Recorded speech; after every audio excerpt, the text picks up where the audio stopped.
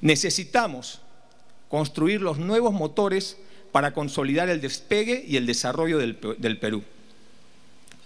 Los retos del futuro nos obligan a diversificar y estamos en el mejor momento para hacerlo.